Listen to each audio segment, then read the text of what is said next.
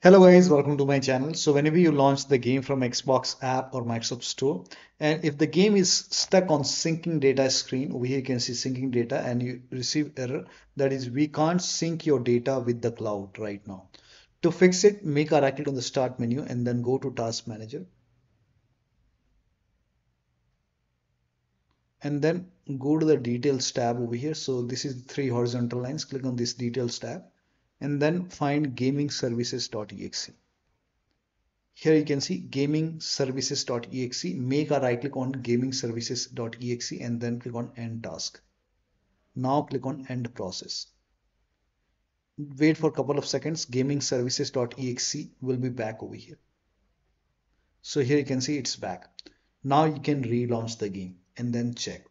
Now if gaming services.exe is not back, still you can close this still you can launch the game and then check. Still not working go to your profile icon on xbox app go to support option click on gaming services repair tool click on start repairing click on yes to allow and let the repair complete. This process will take some time. And once the repair is complete now you can close this launch the game. And then this time it should not be stuck on syncing data screen syncing data. Now it should launch the game.